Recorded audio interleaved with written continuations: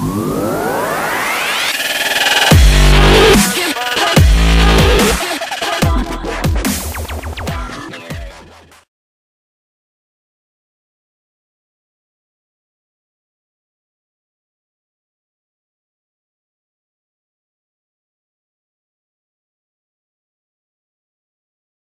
Strange as it sounds for a car approaching six figures, the A8L is a sort of budget alternative to the BMW 7 Series and the Mercedes-Benz S-Class.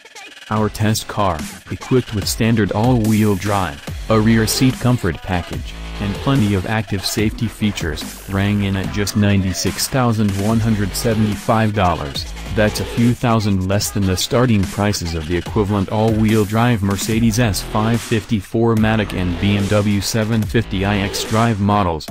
Load up the Benz and Beamer with option packages, and you're easily approaching the $120,000 mark. The Audi's interior comes across as a bit behind the times. Certain bits of plastic trim aren't on par with those in the base S-Class, and the standard glossy wood garnishes look more passe than, say, the classier matte wood that's available as an option. Audi's MMI control interface still functions well ergonomically, but its on-screen graphics haven't changed in the last five years or so. Neither Apple CarPlay nor Android Auto capabilities are offered, and it's unacceptable that anything at this price doesn't have a single USB port.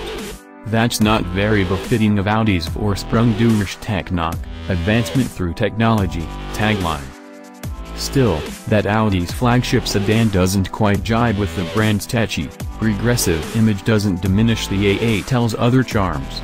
Sure, it may not impress the neighbors as much as would an S-Class, and it's not the sportiest car in its lofty segment, but the A8L remains elegant, luxurious, and more satisfying to drive than many of its rivals.